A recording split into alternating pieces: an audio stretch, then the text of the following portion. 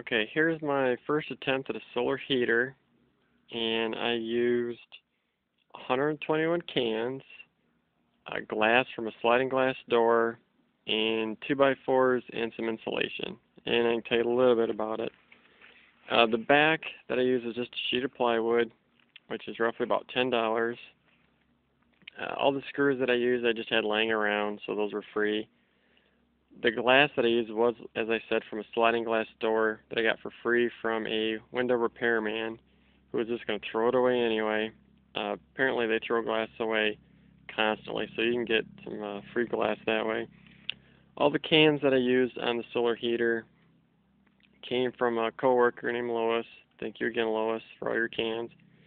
And the 2x4s that I used, I basically used three and those are roughly about seven dollars and thirty cents, somewhere in that range.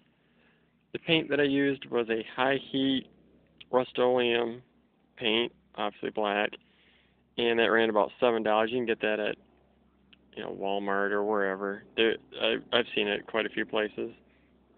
Uh, the insulation I used for the sheet was about ten dollars. I had quite a bit left over, and for the for that end, and that end you can see a solid sheet. That's aluminum. And for a whole roll was like seven or eight dollars, and I just had a ton of that left over for if I ever want to make any more. And the other thing that I had to spend money on was the caulk to glue the cans together, which I've actually seen a video where you actually don't need to caulk them anymore. You just use a third can, cut the top off completely, the bottom off completely, stick it under hot water, heat it up, and insert the two cans inside there.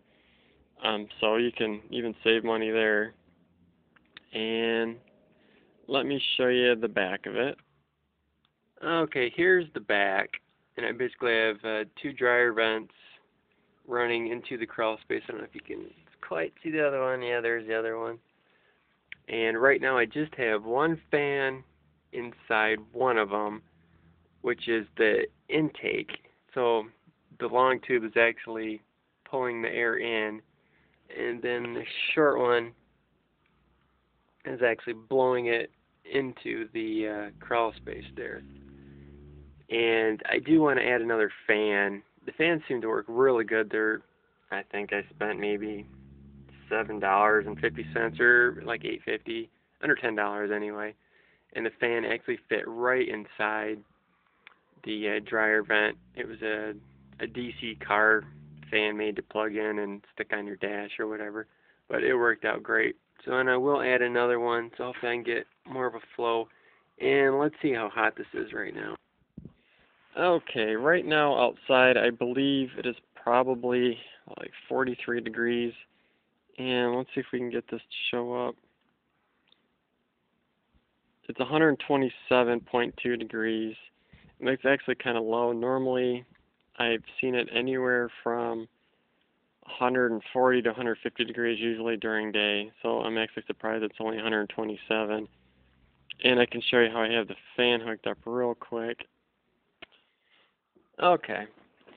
Off of my solar regulator, I don't know if you can tell or not, but there's a has a symbol of a light bulb on there. That's the load. Anyway, what I did was I rigged up a cigarette lighter. And since this was a 12 volt fan, I just plugged it into that and I had to splice into it because the cord was only, I don't know, maybe two feet. I have actually quite a distance to run, so I just spliced in and extended it. Anyway, um, and I always tell it's running because it's some reason it's got a blue light on it, I guess to be fancy for your dash. And that just runs the fan and kicks it right into the house. Alright or the crawl space or your garage or wherever you want it. But okay, thank you. God bless.